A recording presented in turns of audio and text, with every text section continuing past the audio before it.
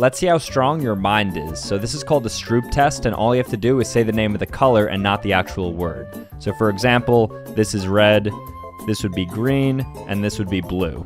All right, so there's gonna be three levels. Good luck.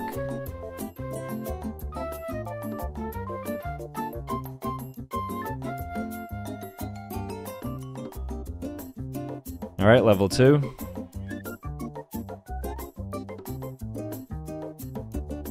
And final level.